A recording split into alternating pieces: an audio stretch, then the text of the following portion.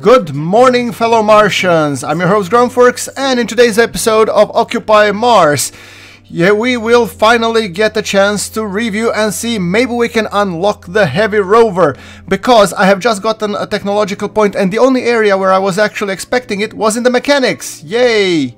So that means with the blueprint that we have lovingly uncovered in the previous episode, we can finally unlock the heavy rover. Guys, this is a turning point. This from here on everything should go quicker, hopefully. Yeah, you see everything is unlocked and when I start pressing it, well, it doesn't work and I'm assuming that this is a question that a lot of you have stumbled upon. So I'm gonna solve it today for you. We're gonna go into the actual mechanics workbench which I have constructed in the previous episode and then you will realize that this is where the research is done. So here we can unlock the heavy rover. Just in case you were wondering and just in case you are asking why doesn't this work, it does, but you have to have a bench dedicated for it. Which actually makes sense because it puts those benches to work and yeah, that has been the like there. So I'm gonna queue up the heavy rover and see how much of stuff, whoa, we actually need to be able to build this darn thing. Okay, so a lot. Okay, that's the short version. We really need a lot. Right, so I'm not gonna dilly-dally too much. My kind of point for today and few other days that will be coming along will be for sure that we need to start gathering materials. Whether or not we'll be able to do this with a confine of one, two, or ten episodes, I honestly don't know.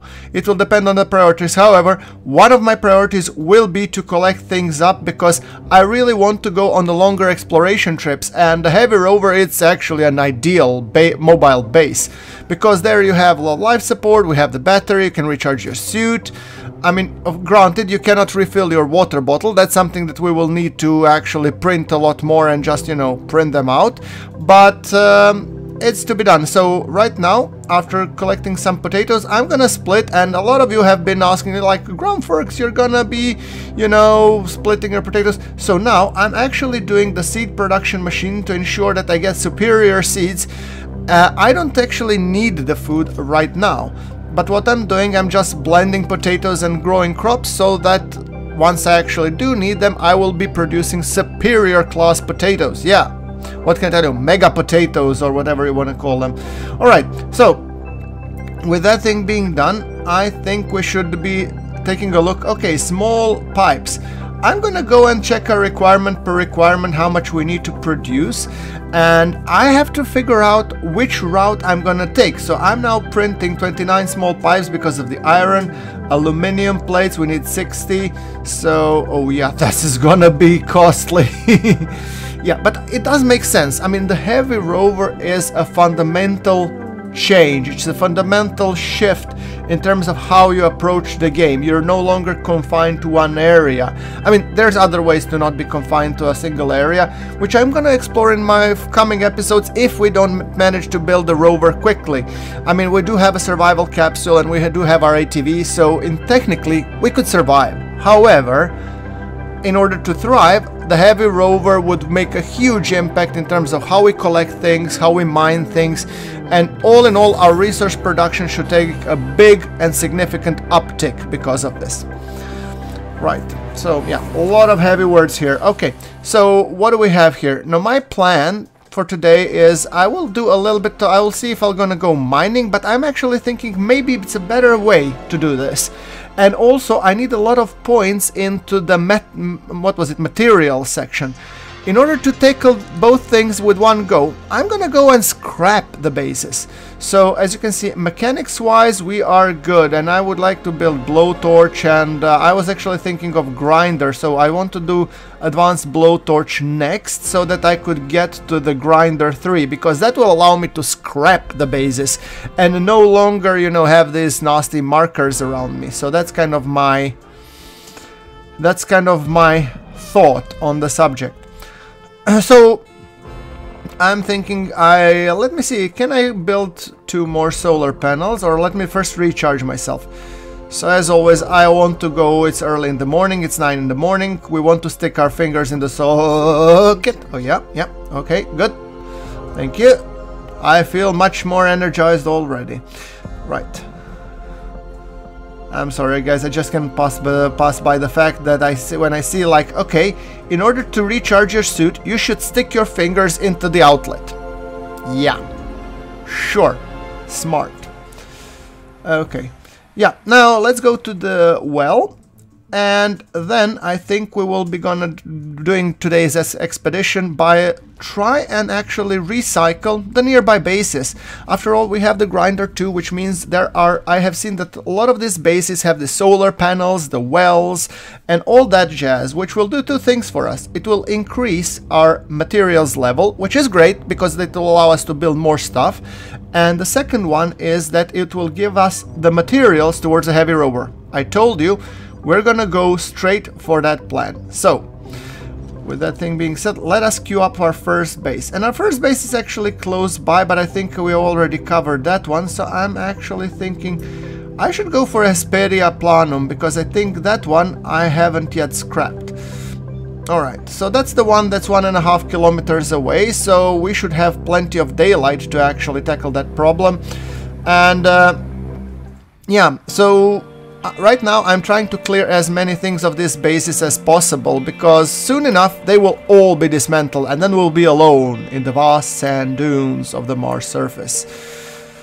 However, uh, then after we scrapped all that, we will probably... Yeah, here we go, first base. After one and a half thousand kilometers, I actually managed to catch some airtime on the way here with the new rover, with the new ATV. I actually love the new ATV. It's faster, bigger range, it's awesome it will allow us to even go places we couldn't before. So I'm thinking maybe if we don't get like the heavy rover in time, I will actually make an excursion. It will make a, a, trip with overnight stay, you know, like an outdoor camping on Mars, if you want to think about it. You know, take the tents, make a little bit bonfire, grill a couple of alien organisms, and yeah, let's enjoy on the Mars. I mean, provided that we found any.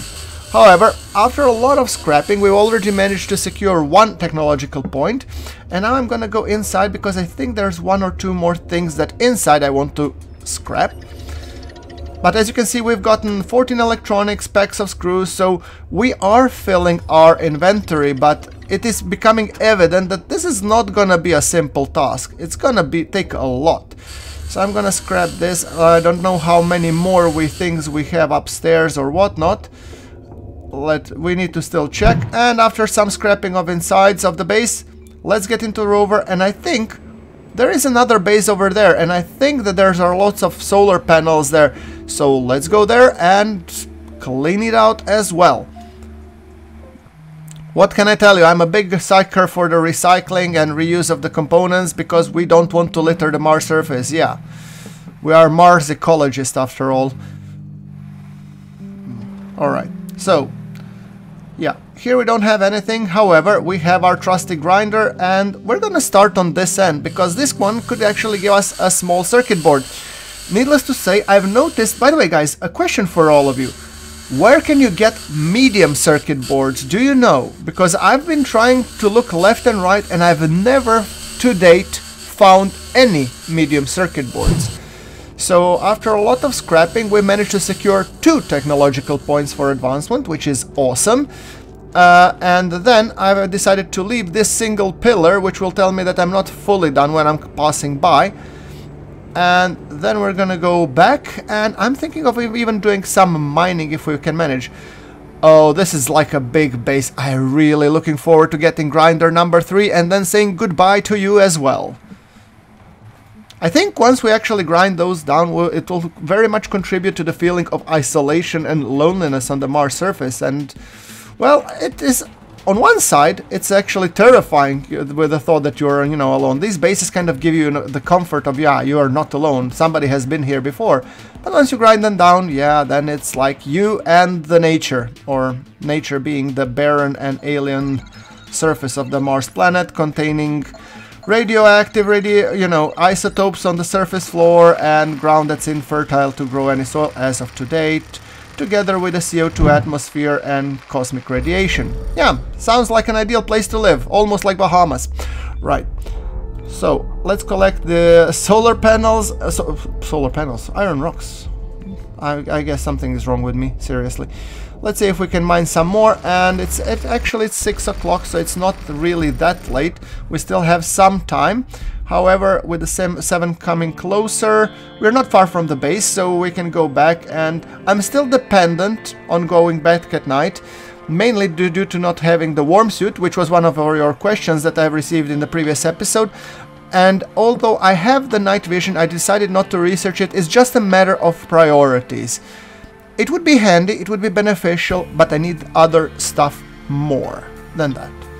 I will come to it, I'm pretty sure of it, and I really want to, but I think I'm gonna research it at uh, roughly the same point when we get, you know, the coolness suit, so we're no longer confined to come back, you know, to the entry to the interiors during the night. Okay, come on, slowly drifting. I mean, I've noticed with this ATV that it really likes to do a little bit of a drifting as well, rather than just, you know, driving. Right, so, ATV is done. Let's connect it quickly. Oh, can I replenish? I think this is a misleading. I would really like to be able to replenish, but for some reason I can't, even though I do know that I'm, I am sending power on this port. Do you guys know? Let me know in the comments below. Right. This is connected, just quickly checking the battery capacity and everything else. Let me just quickly check inside. I've noticed here, when I have now automatic highlighting of this, that we have something inside. And that was confusing to me. What? What? Abandoned tablet in my base.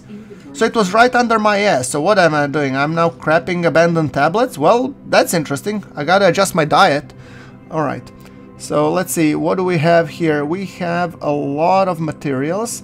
I need something. Sleep deprivation. Come on, I'm just gonna dump something inside this guy.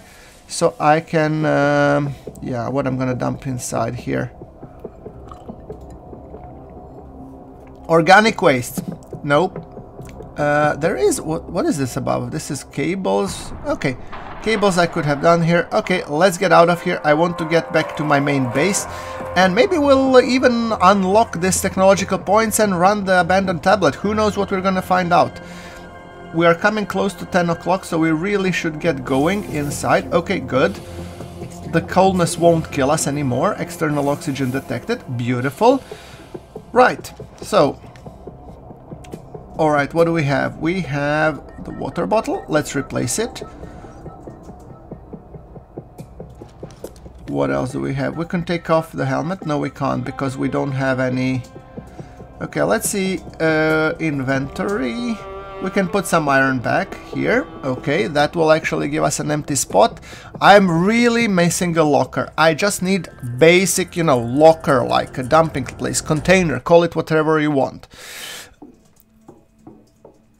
Alright, so food processing unit. I'm gonna actually get rid of potatoes, so let's kind of split them. I'll temporarily put you here. So the reason why I'm putting like four of them, I've noticed that there is a trade-off. I could put all 24 in one spot, but then I would get 24 packages with low nutrition. So the reason why I'm splitting this is because I want rather 6 packages with higher nutrition. And I know you can get nutrition higher by blending different uh, vegetables. We're gonna get there. Oh, and we've managed to even get a technological point for botany. Well, that's nice. Okay, so now, let's review what did we manage to get. So what do we have? Take off the helmet. Ah, breathe the sweet stale air of our internal base. Okay, tech tree, botany. What do we have? I'm thinking I want to build a science bench because that will allow us to get to eventually greenhouse and greenhouse is one of the most important milestones I do want to reach. Now we have materials, so what are we gonna do? Oh, survival capsule. That will allow outdoor trips. Beautiful. That I'm gonna uncover. Oh, and well, extension. Oh, storage cabinet. Okay, I guess we can have um, finally the storage. That's beautiful. Technology access level increased. Available point for technological advancement.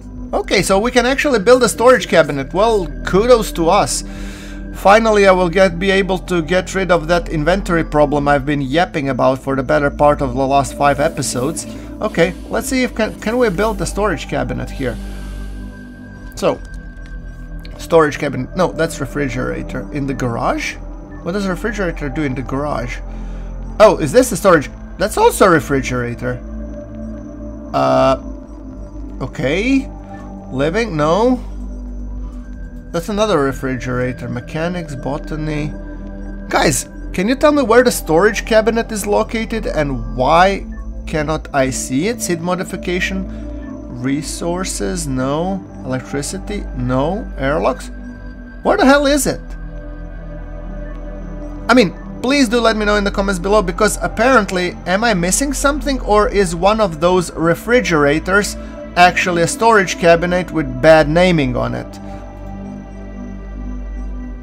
Because there are two refrigerators, there shouldn't be, okay, energy required in the garage. I would guess that the, in garage there's a storage cabinet while refrigerator is in the living area. However, it doesn't say that. Hmm. Weird. Okay, so let's go and let's gonna build the one once again checking electricity. No. Resources? No. Food? No.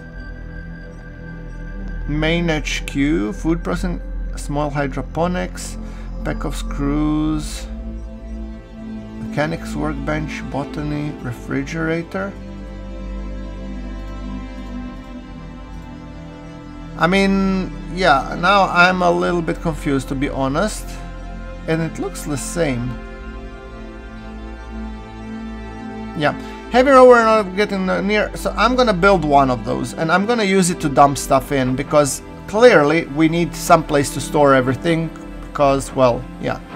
And it, this one seems to be like the refrigerator. Okay, so I'm gonna fridge down a lot of components. Let's see, what, what, what can we fridge down? We can fridge down this.